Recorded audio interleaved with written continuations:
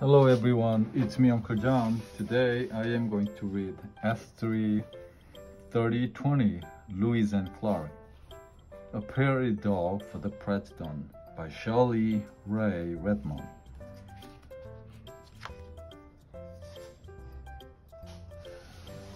Summary of the story is it introduces Meriwether Lewis and William Clark who during their exploration of the West, but Thomas Jefferson captured a prairie dog and sent it to the president as a gift.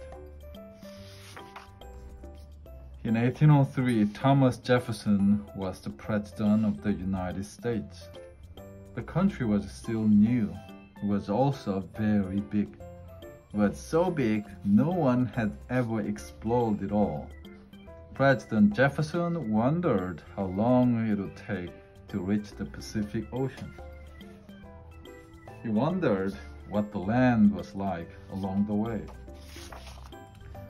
President wrote to his friend Meriwether Lewis. Lewis was a soldier. He wanted to be an explorer. Lewis' buddy, William Clark, wanted to be an explorer too. Lewis and Clark went to see the president. I need someone to explore the West, said the president. We'll do it, said Lewis and Clark. The president told Lewis and Clark to make maps and explore rivers. He told them to collect plants and draw wild animals. Most important, he told them to send pre presents. Lewis and Clark needed helpers for their journey. They took soldiers, scouts, and boatmen. Lewis even took his dog. It was a long trip. One of the scouts brought his wife, Sacagawea. Sacagawea was a big help. She picked nuts and berries. She cooked meat and stew. She talked and traded with Indians they met on the way. Out west, Lewis and Clark made maps. They explored rivers. They collected plants. They saw animals they had never seen before. They saw buffalo. They saw grizzly bears. They saw jackrabbits with long ears. They drew pictures of the animals. They tried to catch some of the animals to send to the president. But the buffalo were too big. The grizzly bears were too dangerous. The jackrabbits were too fast. The president will think we have forgotten him, they worried. One day, Lewis and Clark came to prairie. The ground was filled with holes. A little animal sat by each hole. What are those? asked Lewis. Just then, a hawk flew overhead. The little animals barked. Then they dived into their hole. Let's catch one of those rascals, Clark said. They are small enough to send to the president. The soldiers took shovels and picks. They dug and dug, but the little animals were too fast. Let's flood them out, Lewis said. The man carried water from the river. Lewis poured the water into a hole. Clark and the soldiers waited beside the other holes. They waited and waited and waited. Then one of the animals popped up. I've got it, said Clark. Clark put the animal in a cage. I wonder what it is, he said.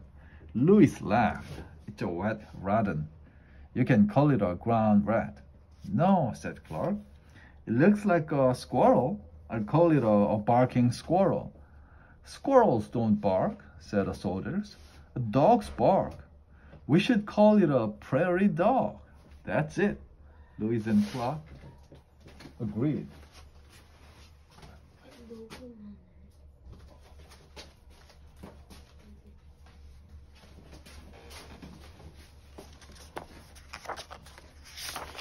Lewis and Clark picked the scout to take the prairie dog to the president.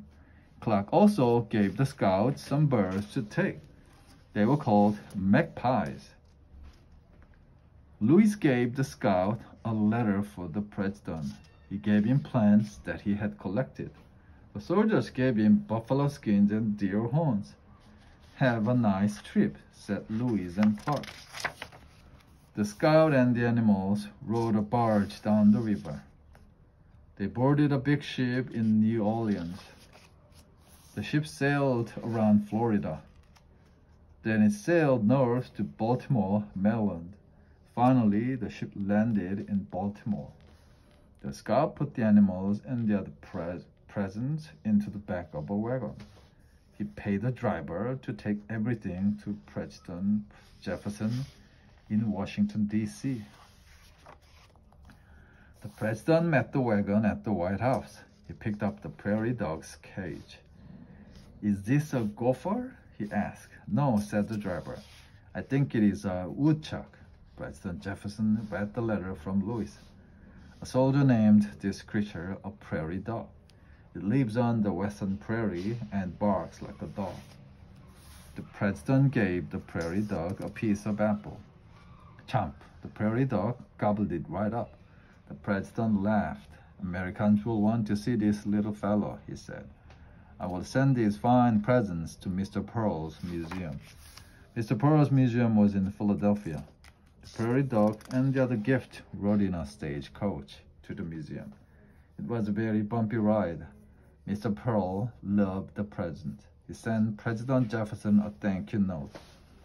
Prairie dog is a pleasing little animal. He's not at all dangerous like a groundhog, he wrote. Mr. Pearl put the cage in a sunny room. Children came to see the prairie dog.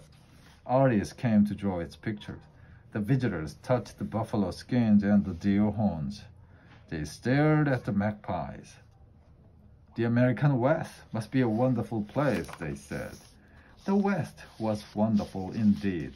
Lewis and Clark were gone for two years exploring it. In November of 1805, they finally reached the Pacific Ocean. They were heroes.